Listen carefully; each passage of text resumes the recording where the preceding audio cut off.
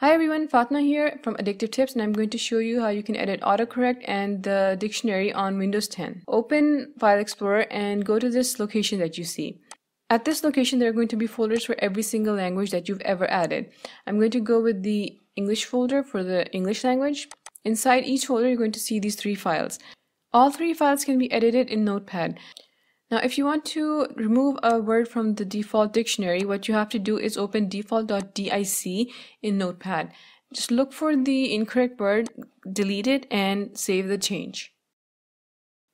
That's going to do the trick. And if you want to define an autocorrect word, open default.acl in Notepad and enter the word and its correction in this format that you see on your screen. You have to enter the incorrect word, then you have to add a space, then you insert this pipe character, another space, and then the correct word. So it becomes this. And I'm going to show you how it works. I'm going to use Edge. I'm going to log into my Facebook account and I'm just going to make a mistake on purpose and it will fix it.